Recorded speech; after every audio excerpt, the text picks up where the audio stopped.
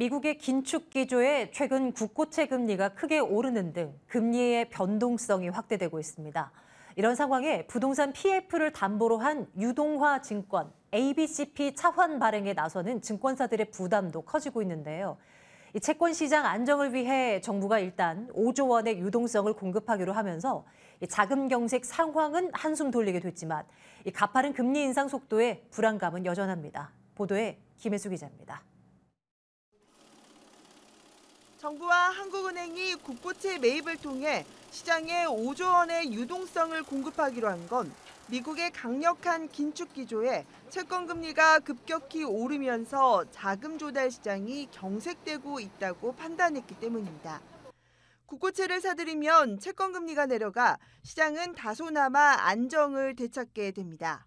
정부의 대책 발표에 실제 어제 오전에만 0.2%포인트 넘게 오르던 국고채 10년물 금리는 상승폭 절반을 반납한 채 마감했습니다.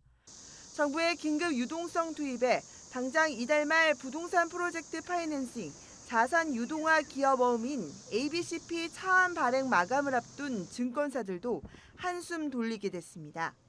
증권사들이 부동산 PF를 기초로 발행한 ABCP 분기 만기일이 당장 내일인데 일부 증권사가 급격한 금리 인상과 PF 부실 가능성에 차환 발행이 쉽지 않다는 관측이 제기됐습니다. 지금 6월 말에도 그 PF ABCP 차환 수요가 몰리는 과정에서 유동성이 많이 부족해서 RP 시장 등 단기 자금 시장이 급등을 했는데요. 지금 9월 말에는 그때보다 금리 수준도 높고 PF ABCP 차환 규모도 크고 그리고 공공기관들이 자금 조달 수요가 몰리는 상황에서 지금 현금 확보에 총력을 기울이고 있습니다. 일단 급한 불은 껐지만 유동성 우려를 완전히 해소했다고 보기엔 이릅니다. 미국의 금리 인상 속도가 워낙 가파른 데다 경기 침체로 증권사들이 보유한 부동산 PF의 연체율, 부실 가능성이 점차 높아지고 있기 때문입니다.